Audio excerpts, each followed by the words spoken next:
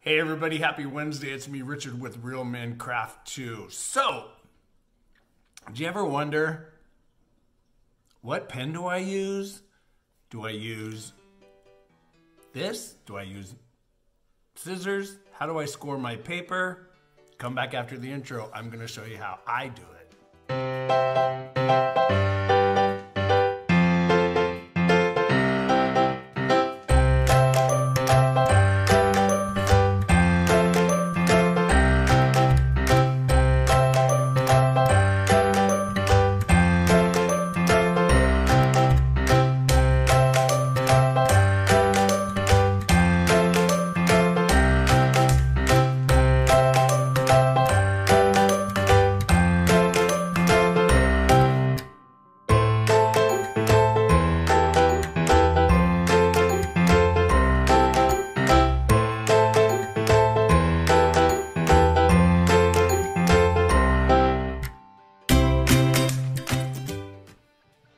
Welcome back, everybody. It's me, Richard. Sorry, I've got a mess on my hands here, and you guys are gonna go. You guys are gonna think, "What's he doing with all those tools?"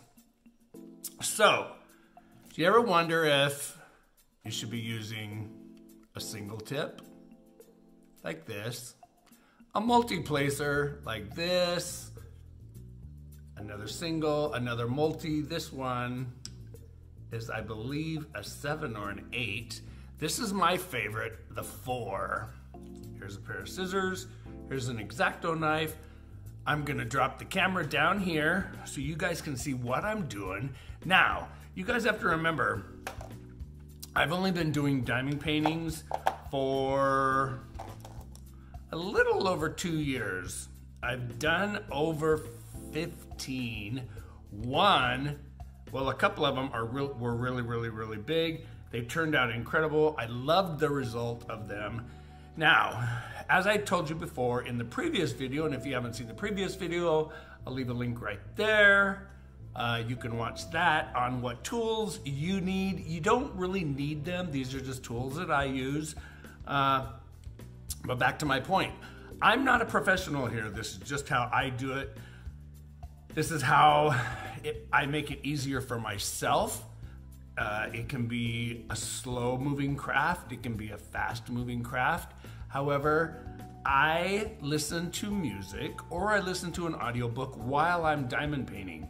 Uh, now, in the other room, sometimes uh, Bruce will watch TV or he'll just listen to his tablet, he'll listen to a book. But yeah, there's always something you can do while you're doing a diamond painting. Sometimes you can't. A lot of people have to stop, really uh, concentrate on what they're doing I don't make it that hard.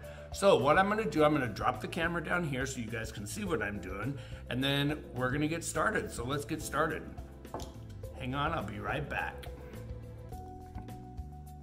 Okay, you guys, so I'm back. I just wanted to make sure I was recording. So, as you guys can see here, I've got a bunch of tools here. Here's my diamond painting. Uh, I am finishing up the trick or treat, the Sam and um, my allergies right now, everybody, are really super, super bad. So I'm gonna try not to cough. If I cough or sneeze, I will edit it out so you don't have to hear it and listen to it. But let's get into what I'm gonna show you. So let me turn on this. I suppose I unplugged it. Okay, so you guys are gonna hear a bunch of crunching here. This is my cellophane. But before I let uh, get going on what I do with all these tools, let's turn the light board on. I'm gonna increase the brightness. Now, you guys can see here that I've got one of the hand poured uh, pens. I've got more than one of these actually. I've got two or three of them, yeah. This one here is a seven stone placer or drill placer. On this side is the single end. This is my favorite one to use. I use this for right here. Now, and there's a single on the other end. You guys are gonna wonder, Richard, do I use the pink ones that come with the kit? You guys can really use any pen that feels comfortable to you. I like, like I said, I love this one. Um, I will try to remember where I got this from, but I have tried and tried and tried to remember you guys, and I cannot remember the guy's name. But if you see here, this is an X-Acto knife. Now, these things are extremely, extremely sharp. These are actually a fancy shaped razor blade. And what I do with this, I'm gonna try to zoom in here. Let me move my coffee so I don't spill coffee all over my um, painting. But I'm gonna show you what I do with these things. I'm gonna move this over a little bit. Let's see if I can do this without moving my camera too bad. So you're gonna see this cellophane or you're gonna see a, a paper, a white paper that you can peel back and reveal your poured glue or your glue surface that you're gonna place your diamonds on. Now, I did this on purpose. I finished most of this line because I wanna show you how I score my plastic. Now, I'm gonna zoom you guys in here a little bit.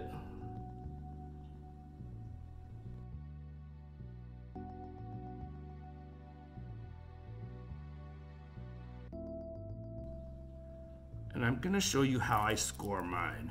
Now, like I said, you can use scissors. You can. Uh, you can take your scissors and you can use one of the tips here and just score it that way. However, I love to use my X-Acto knife. Sorry for the shaking of the camera there. Um, yeah, so I like to use my X-Acto knife and I'm gonna show you exactly how I do it. This is just how I do it. This is not how you guys have to do it. Um, this is just how I do it. I take a I, I take a ruler. You can use any straight edge you want. Now, I usually will go completely across from one end to the other and score the plastic. But I wanted to show you guys how I do it. So, I am left-handed, so I work from the right side of my canvas and I work right to left. Normally, if you're right-handed and you're a diamond placer, you know, that works with their right hand, you would start at the left side and work this way.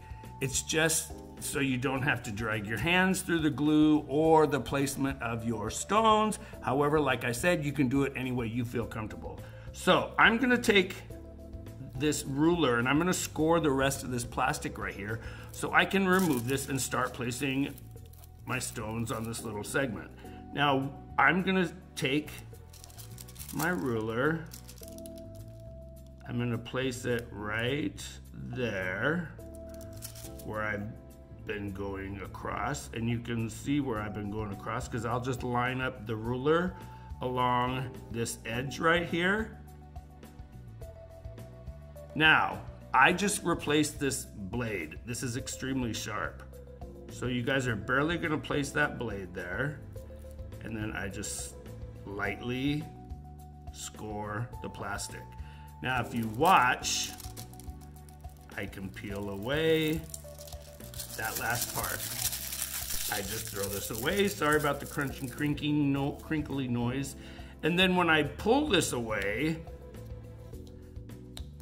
my canvas is ready to start placing my drills. So here's the fun part, you guys.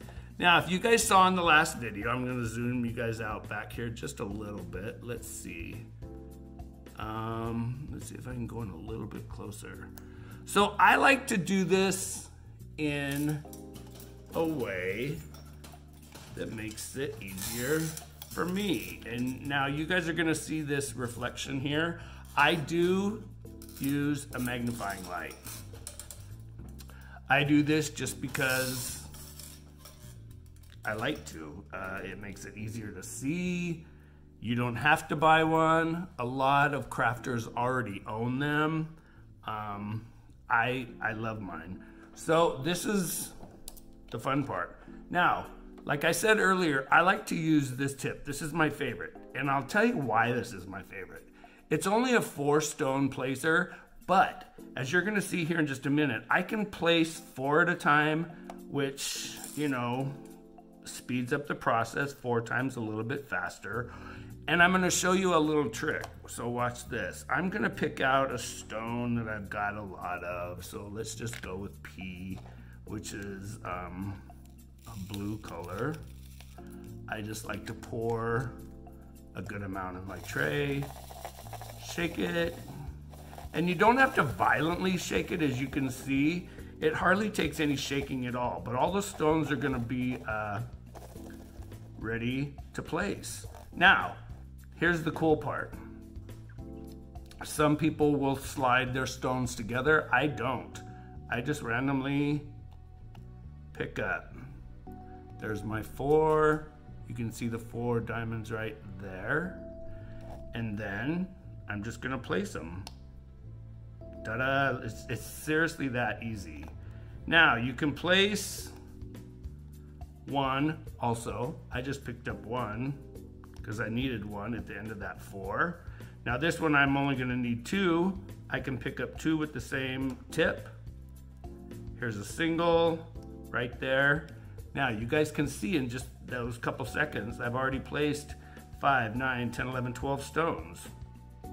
It, uh, I love using the four, the four tip.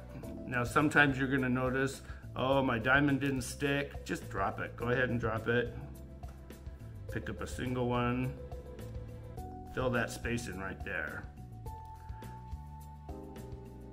There's the three, there's a single, there's another single, we've got three up here, three right there. And you guys, it, it does. It really speeds up the process. It makes it a lot easier to do. Um, sometimes you're gonna see that, you know, your stone didn't pick up or your drill didn't pick up. It could be because you need to um, reload your tip. You guys, like I said, I swear by the good old pink stuff. Um, yeah, I do. I just, I love the pink stuff. So you guys, I hope that helped a little bit. Once again, remember, you can move these around. These are not permanently stuck here. You can use this as a, a line uh, straightener. If your uh, stones are crooked, you're, you, you will get it down. You'll get it down. As you start to learn, it's kind of a very different craft. Um, but as you, you know, do it more and more and more, you'll actually be really surprised how fast and easy you can do it. Some people will roll their tips. I don't, I just place them. I just squarely place it down. I can use two. I can pick up three. The four tip, the four, the four uh, placer tip is my favorite. That's just, uh, that's just, you know, the way I do it, you guys. But as always, uh, I'm gonna pause you for just a second. So you guys, I hope you liked today's video. That's just my little tip on how I make diamond painting easier for me. It, uh, it may be a complete different process for you. We're all different. Uh, I do recommend trying it. If you've never done it, it's it's so addicting and so soothing. But yes, just another warning. If you have kids that you want to teach this to, this thing can actually slice off a finger. Yes, this is a razor blade. It's extremely sharp. If you're going to use an X-Acto knife, please let the adults do it. Don't let a child pick up one of these. They are very, very sharp. Or you guys can use scissors, or you can just slice up from the bottom or the top. You can score it that way. I tend to peel it back in like a three inch width and I go from right to left. Now I'm almost done with this painting. You guys will see Sam, the little creepy character from Trick 'r Treat, as soon as I get it done. You guys, thanks for stopping by Real Men Craft Too. I'm Richard. I'm gonna have another sip of coffee real quick. You guys, thanks so much for stopping by. And if you haven't done so already, I'd love for you to hit that subscribe button right there. Ring that bell Tap it to all so you get notifications of when I post another crafting content video. You guys, I'm Richard with Real Men Craft Too. Thanks for stopping by. Thanks for taking a minute out of your day, or actually about 12 minutes here. I'll see you guys in the next one.